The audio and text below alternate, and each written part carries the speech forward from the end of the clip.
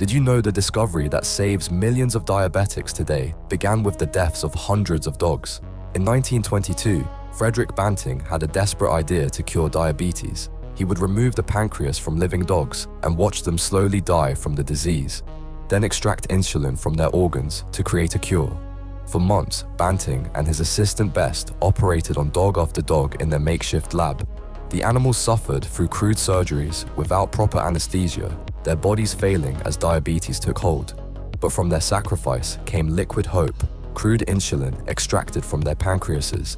The first human test was on 14-year-old Leonard Thompson, who was dying from diabetes.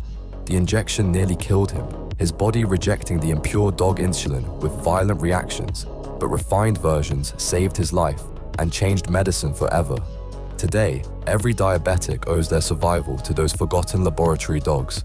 Sometimes the greatest medical breakthroughs come from the darkest experiments